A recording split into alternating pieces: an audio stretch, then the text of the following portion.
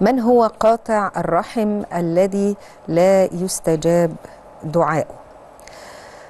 آه، هو الحقيقة جاء آه، التوجيه في آه، نصوص الشرع الشريف بضرورة الحرص على صلة الأرحام على الحقيقة جت على وجه العموم. وجاء توجيه بيها في القرآن الكريم كما في سورة النساء أعوذ بالله من الشيطان الرجيم واتقوا الله الذي تساءلون به والأرحام إن الله كان عليكم رقيبا. كمان جه التحذير الشرعي الشديد من آه، عملية قطيعة الرحم والشرع جعله من الأمور المحرمة.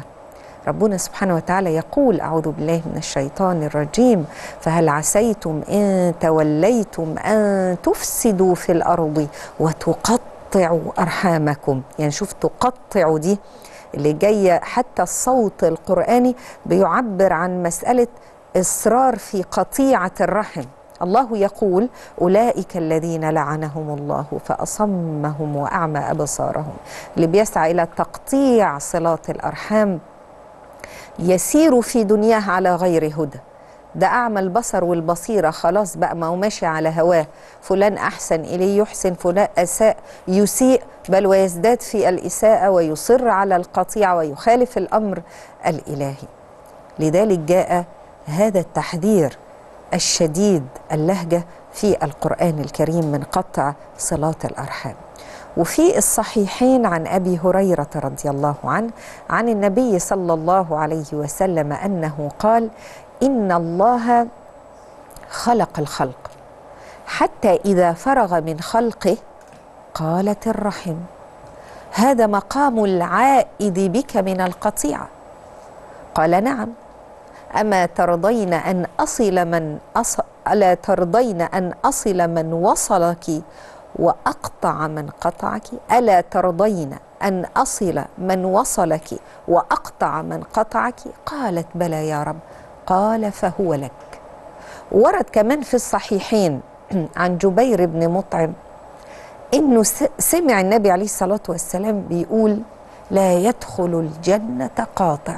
لأنه مصم مصر مصمم وهو يعلم إن في تحذير شديد في أمر بصلة الرحم وفي تحذير بالإصرار على ذلك ومخالفة الأمر الإلهي وإنكار آه هذا الأمر.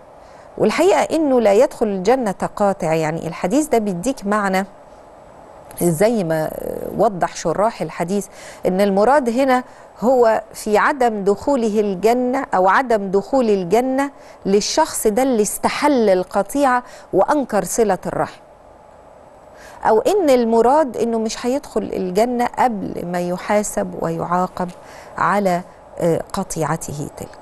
والحقيقة إنه فصل وبين العلماء حكم صلة الرحم وقالوا إن صلة الرحم الواجبة بتكون في الرحم المح... اللي هو إيه؟ المحرم. فقط. فإذا اللي ربنا حرم إن أنت تقطع هذه الصلات وحرم على الإنسان إنه يقطع هذه الصلات اللي ممكن يقطعها الإنسان في الحالة دي هيكون آثم. وهذه تكون كما ذكرنا أو كما تعلمنا وقلنا قبل كده في حلقات أخرى إنها بتكون اللي هي في الآباء. الأمهات الأجداد الجدات الأعمام العمات الأخوال والخالات الأخوة والأخوات الأولاد بقى ذكورا واناثا. هؤلاء تجب صلتهم وتحرم قطيعتهم. يجب إن أنا اوصله ويبقى حرام علي إن أقع في القطيعة. طب أما الرحم غير المحرم يعني هنقول ده فمن من السنة من المستحب صلته. أما بخصوص عدم إجابة دعوة قاطع الرحم الحقيقة أنا لم أقف على في على شيء سوى أثر رواه الإمام الطبراني في المعجم الكبير والبيهقي في شعب الإيمان إن سيدنا ابن سيدنا ابن مسعود رضي الله عنه كان جالسا بعد الصبح بعد صلاة الصبح في حلقة قاعد في حلقة علم يعني. فطالب سيدنا ابن مسعود طالب وهو كده في هذه الحلقة قاعد كده في المجلس ده وحواليه ناس حواليه طلابه. فبيقول طالب كل قاطع رحم إن هو يقوم من عنده. كل واحد منكم اللي قاعد هنا قاطع رحم ويقوم ليه؟ لأنه كان يريد أن يدعو. وقال إن أبواب السماء مرتجة دون قاطع الرحم. يعني أبواب السماء دي هتكون مغلقة قدام اللي قاطع رحم.